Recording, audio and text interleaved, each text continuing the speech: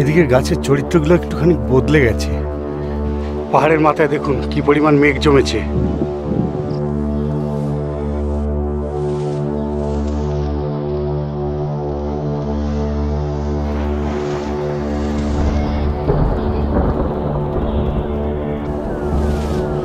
ক্যামেরায় আসছে কিনা জানি না, কিন্তু আবছা আবছা দেখা যাচ্ছে।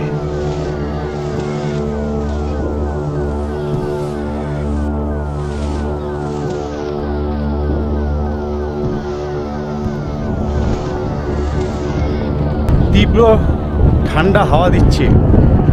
এত জোরে হাওয়া দিচ্ছে যে মাঝে মাঝে যেন মনে হচ্ছে ঠেলে ফেলে দিচ্ছে।